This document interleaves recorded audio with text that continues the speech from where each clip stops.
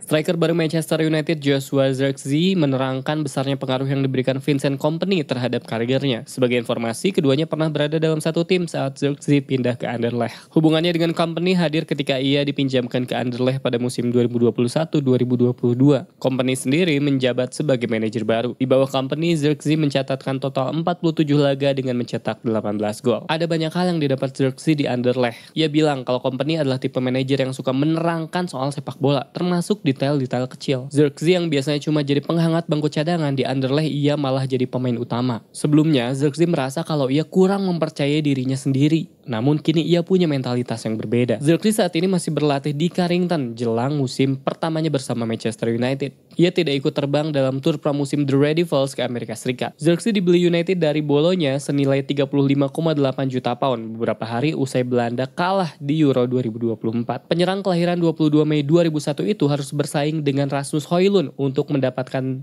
tempat di lini serang Red Devils. Musim lalu Zirkzee mencetak 12 gol buat Bolonya. Ia pernah membela Bayern Munchen, Parma, dan juga Anderlecht.